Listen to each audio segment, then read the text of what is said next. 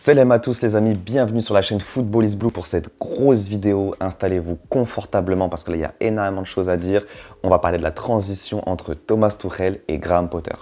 J'ai mis beaucoup de temps à préparer cette vidéo les amis, donc si vous kiffez le contenu sur Chelsea, abonnez-vous, vraiment ça me donnera vraiment beaucoup de force et vous ne serez pas déçus de l'abonnement puisque clairement comme vous voyez sur la chaîne, on balance énormément de contenu, euh, on essaie de travailler les vidéos pour vous donner les meilleures infos euh, dans les temps. Donc voilà les amis, abonnez-vous s'il vous plaît, ça fait vraiment plaisir. On va parler évidemment en long, en large et en travers euh, de l'arrivée de Graham Potter, donc qui sera le nouveau coach de Chelsea, mais je tenais vraiment à faire une première partie de cette vidéo en parlant de Tourelle pour le remercier pour parler un peu de lui par rapport à tout ce qu'on a eu comme information.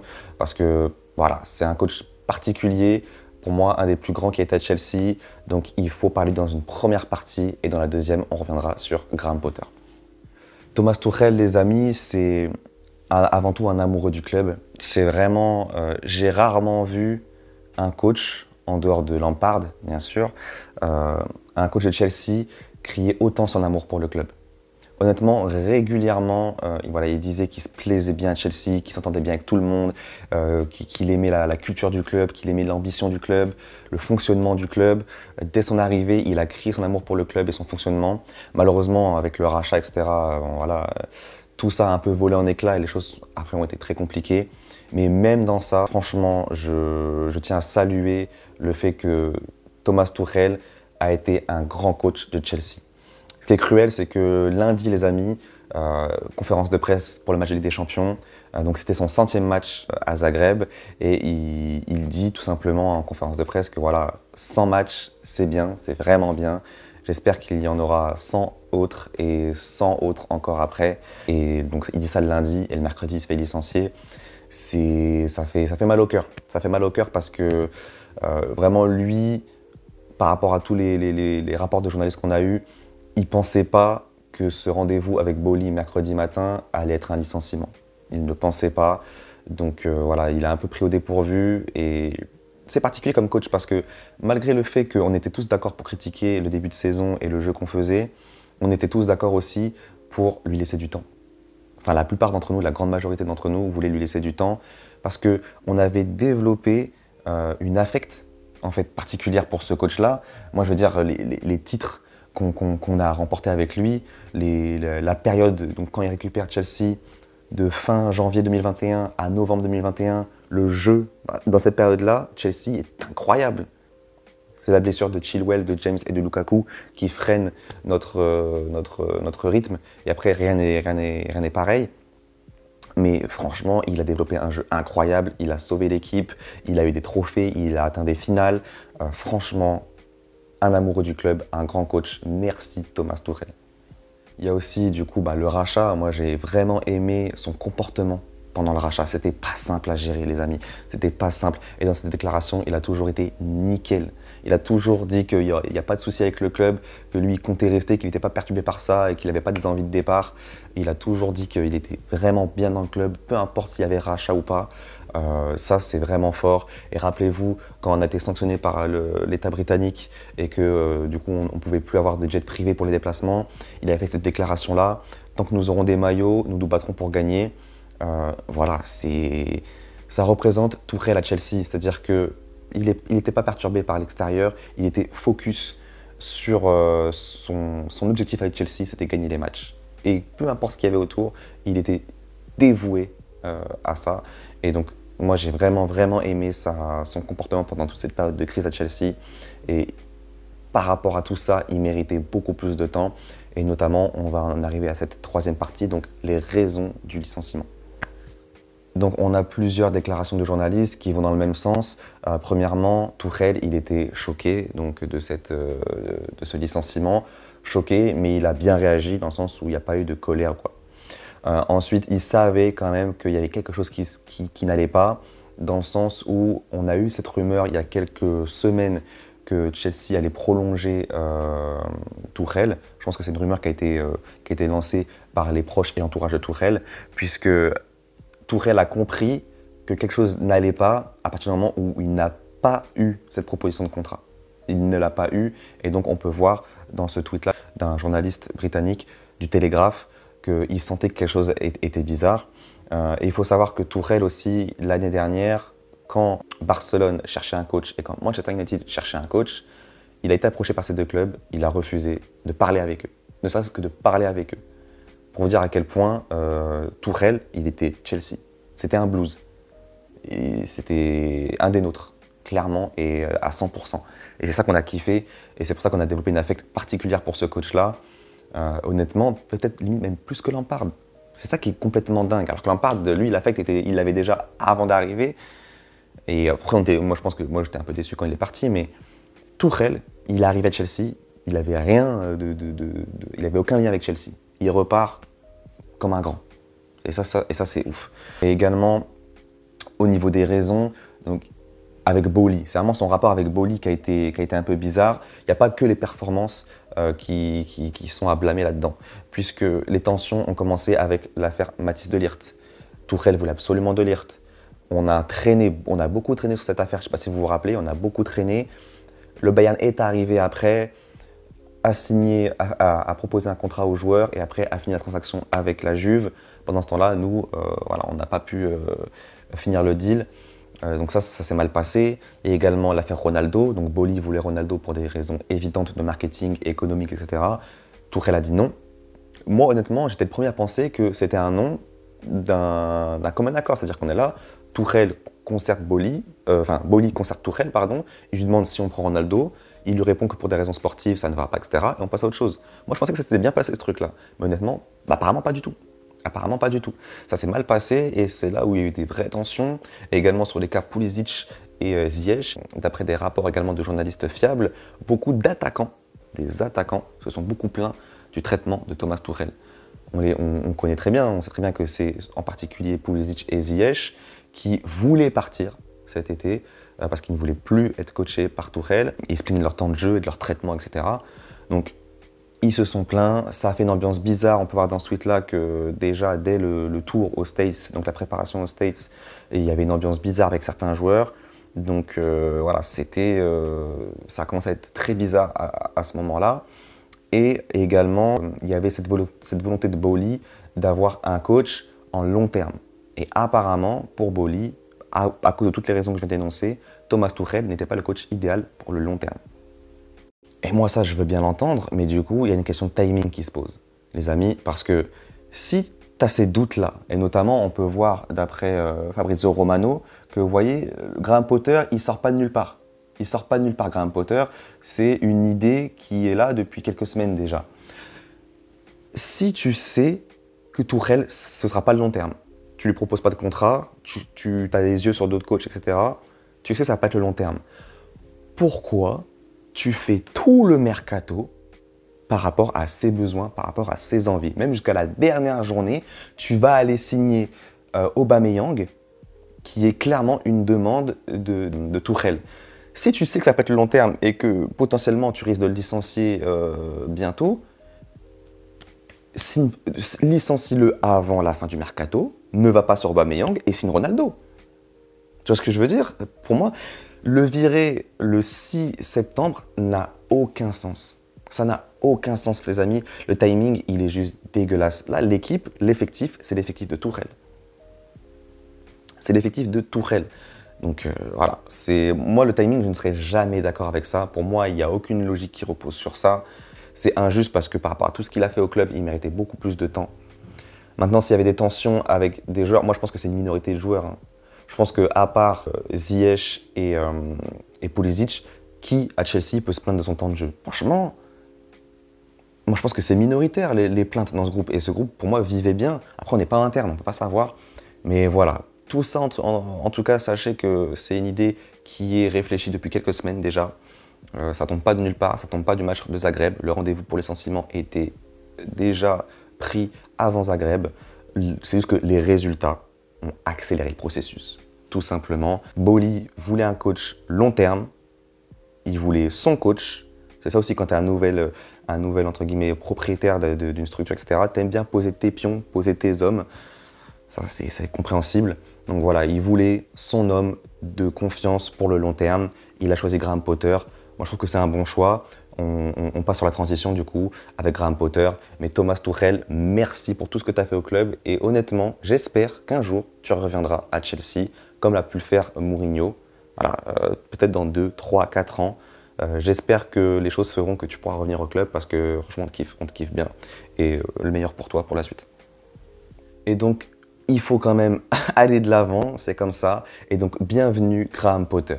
Graham Potter, les amis, ça reste un choix qui me, réjouit personnellement, pour plusieurs raisons. Déjà, Graham Potter, c'est un très bon coach. C'est un très bon coach. Jürgen Klopp, Pep Guardiola, très récemment, et même Jason Terry, et même honnêtement, énormément de gens euh, en Angleterre lui ont fait de grandes louanges. Tout le monde salue son style de jeu, tout le monde salue ce qu'il a fait et ce qu'il fait à Brighton. Honnêtement, euh, c'est un super coach qui, manage très bien. Et moi-même, mes proches le savent. Ça fait depuis deux ans, je, vous, je saoule les gens, je saoule mes proches avec Brighton. Je dis, les gars, au lieu d'aller regarder vos Real Sociedad, Real Betis, allez regarder la match de Brighton. Je vous jure que c'est du meilleur football. Brighton, depuis deux ans, moi, ils m'éblouissent. Clairement, euh, j'aime beaucoup, j'aime beaucoup leur, leur, style de jeu. Graham Potter, c'est donc un coach qui a une trajectoire montante.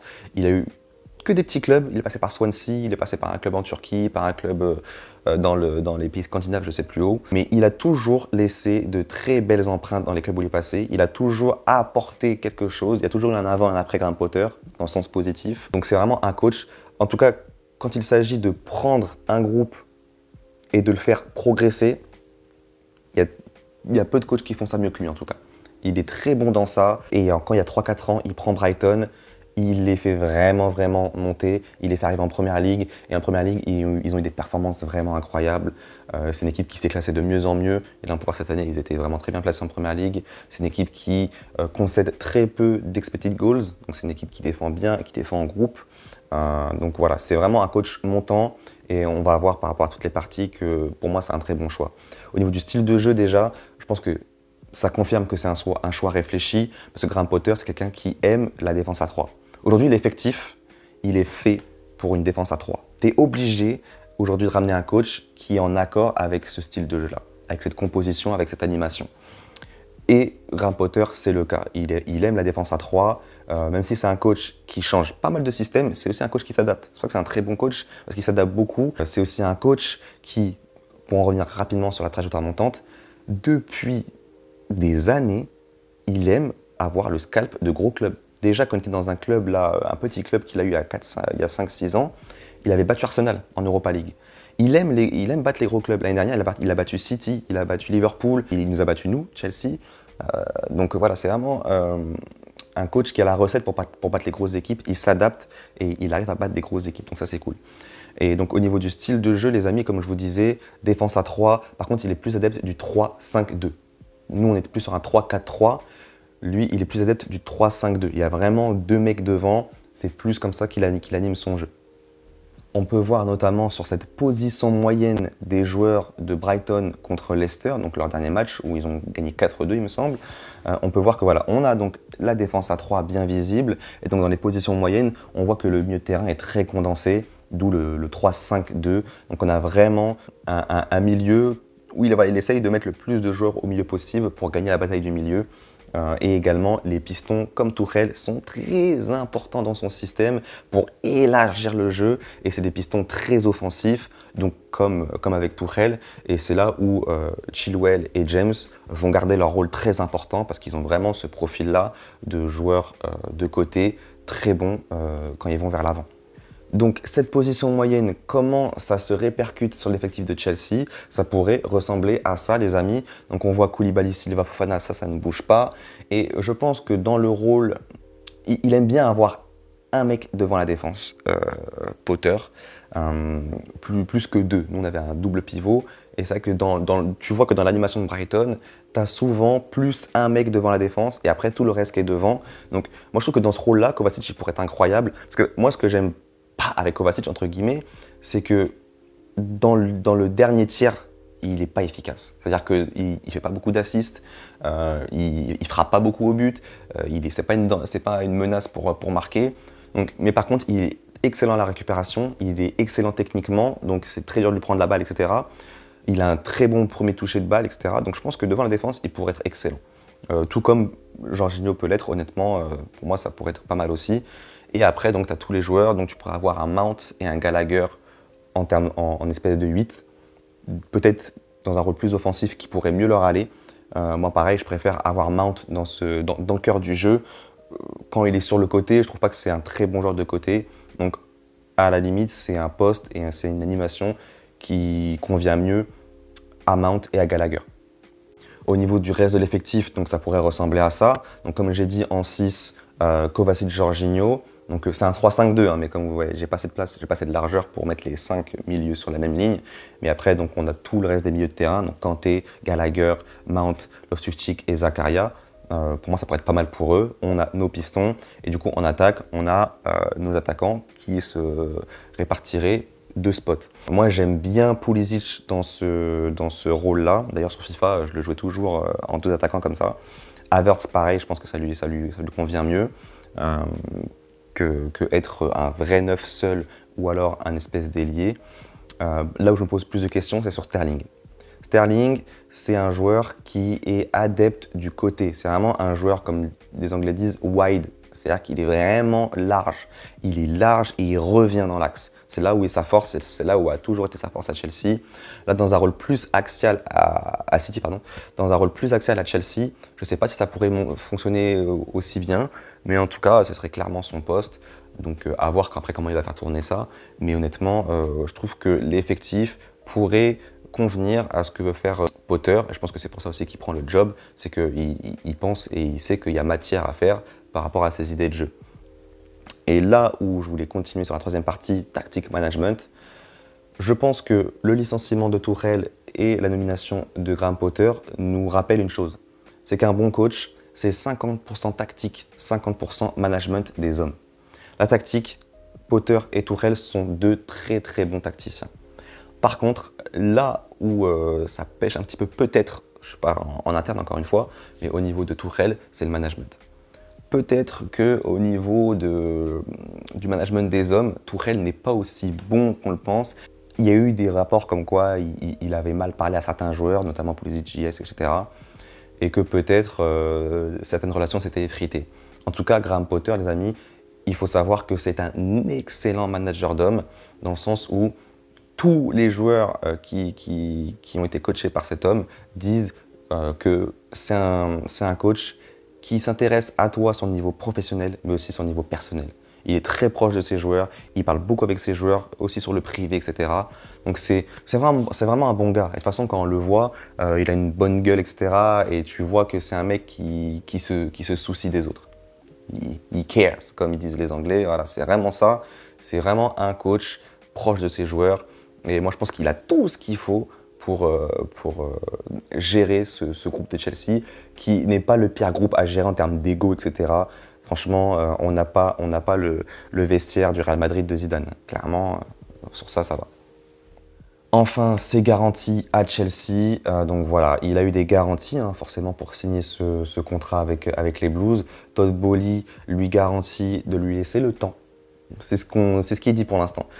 Euh, ils vont lui laisser le temps de se développer, d'imposer ses idées, parce que clairement, il vient de débarquer, donc voilà, c'est pas son effectif en plus. Donc euh, voilà, apparemment, il va avoir le temps. Est-ce que ce temps, ça va être une saison complète? Est-ce que ça va être plus? Est-ce qu'il va y avoir une clause dans son contrat qui va dire que euh, voilà, s'il est licencié dans la première année ou dans la deuxième année, le, licenciement coûterait énormément d'argent à, Chelsea? Moi, honnêtement, si j'étais lui, c'est ce que je ferais. C'est-à-dire que si je veux vraiment le temps, si tu me dis avec ta bouche que je vais avoir le temps, c'est pas assez. Il faut que ce soit écrit, que tu vas me laisser vraiment le temps euh, de, de, faire ce que j'ai à faire. Donc, à voir ce qu'on va apprendre. Euh, je pense que Romano aura des infos sur ça. Mais euh, apparemment, il va avoir le temps. C'est une bonne chose. Déjà, je pense qu'on va avoir la saison, quoi qu'il arrive, quoi qu'il arrive, même si on finit 15e, je pense qu'il aura la saison pour développer ses idées. Parce que moi, ce qui va beaucoup m'intéresser, c'est déjà comment il va réussir à gérer cette saison-là, avec cet effectif-là, mais surtout, moi, ce que je veux voir, c'est son recrutement. C'est-à-dire que, est-ce que cet hiver, on parlait de, ramener un autre milieu de terrain, etc. Est-ce qu'il va nous ramener Caicedo de Brighton? Je pense que ce serait cool. C'est quoi son avis sur Kanté et sur Jorginho? Est-ce qu'il veut les prolonger? Est-ce qu'il est, d'accord pour les laisser filer, etc. S'il les laisse filer, par qui il les remplace cet été? Vous voyez Moi, c'est surtout ça que je l'attends. Moi, je l'attends donc sur cette saison complète. voir si on ramène des joueurs cet, hiver, euh, savoir ce qu'il va faire cet été-là, et après une saison, euh, ou au moins la moitié de la saison, avec euh, les, changements qu'il aura pu apporter l'été prochain. Donc pour moi, jusqu'en, on va dire, fin 2023, il est intouchable. C'est-à-dire que tu auras eu deux mercato, un d'hiver, un d'été, et on t'aura laissé, du coup, donc de août à décembre, pour voir ce que tu, ce que tu vaux. Pour moi, il lui faut au moins ça. Et il lui faut au moins un an et demi. Pour moi, c'est minimum. Je ne veux pas qu'on parle de licenciement avant un an et demi pour Graham Potter. C'est le temps qu'il faut. Si on, veut, si on veut que les gens travaillent bien, il faut leur laisser du temps. Et pour moi, l'exemple de Arsenal, les amis, je finirai sur ça, il est incroyable. Parce que Arsenal, ça se passait très très mal, les amis. Ça se passait très très mal. Ils ont fait confiance à Arteta, ils lui ont laissé le temps, ils ont investi malgré les résultats qui n'étaient pas au niveau, ils ont mis l'argent pour, pour, euh, ben, pour qu'il ait ses joueurs. Et c'est ça le secret, les amis. Pour qu'un coach il puisse être à 100% bien dans ce qu'il veut faire, il faut qu'il ait ses joueurs. Parce qu'il sait pourquoi il veut ses joueurs, il sait pourquoi, il connaît leurs qualités, ce qu'ils vont apporter, etc. Donc moi je trouve que Arsenal a fait un magnifique boulot avec Arteta et qu'aujourd'hui ça paye. Ils ont cru en lui, ils lui ont laissé le temps et aujourd'hui les amis ça paye. Et avec Potter il lui faut minimum, mais c'est vraiment le minimum, c'est le minimum, un an et demi voire deux ans. Voilà les amis, dites-moi ce que vous pensez de tout ça, dites-moi ce que vous pensez de Tourelle, un dernier au revoir peut-être en commentaire, et également du coup de l'arrivée de, Graham Potter, dites-moi ce que vous pensez par rapport, à par rapport à sa tactique, par rapport à ce que va devenir l'effectif. Vous avez vu aussi dans les, schémas et dans l'effectif que j'ai fait, pour moi il n'y a pas de place pour Ziyech. Qu'est-ce que vous en pensez? Pour moi, le profil de Ziyech ne colle pas avec ce que veut faire Graham Potter. Ça collait déjà presque pas avec ce que voulait faire euh, Tourelle pour moi, il ne colle pas dans un 3-4-3 ou dans un 3-5-2 euh, Ziyech. Donc euh, vraiment, pour moi, le mieux, c'est qu'il parte et qu'on recrute un vrai ailier droit. Ça changerait pour moi tellement de choses à Chelsea, les amis. Le fait de troquer Ziyech contre un ailier droit de haut niveau, ça changerait énormément de choses dans le jeu offensif de Chelsea. Et pour moi, on ne pourra pas juger vraiment cette équipe tant qu'on n'aura pas eu ce changement-là. Donc voilà les amis, dites-moi ce que vous pensez de tout ça en commentaire. Abonnez-vous. Vous avez vu, on a fait, on fait du taf. On taf fort, fort, fort. Abonnez-vous pour ne pas manquer les vidéos. Et également, euh, voilà, je pars en vacances. Il faut le savoir. Donc s'il n'y a pas de débrief euh, du match de Fulham, c'est normal, je ne serai pas disponible malheureusement, ni euh, de prédiction, de pronostic de la semaine. Il n'y aura pas de vidéo la semaine prochaine. Peut-être une seule. ce sera la vidéo des un mois de la chaîne que je ferai en amont avant de partir et que je balancerai, je pense, lundi ou dans la semaine. Mais voilà, sinon, cette semaine, il n'y aura pas trop, trop de vidéos. C'est normal, ne m'en voulez pas. Je pars en vacances. Ne vous désabonnez pas, les amis. On reste ensemble et à mon retour, on reprend le rythme fou. Voilà, prenez soin de vous, les amis. Ciao.